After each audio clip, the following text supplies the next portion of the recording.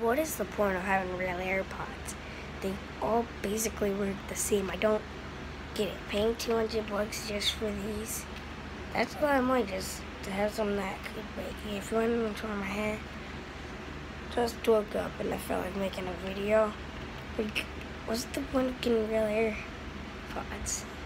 I feel like like making a video of like these. They're only 20 bucks. They're fire. Like, I got these from Walmart, but not it. That's what of AirPods really are, to be exact.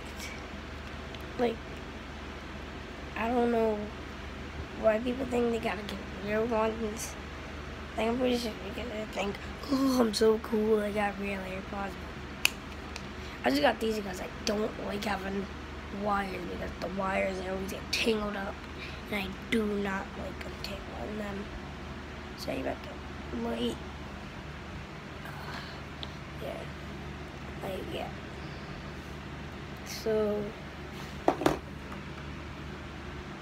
dog. Dog out.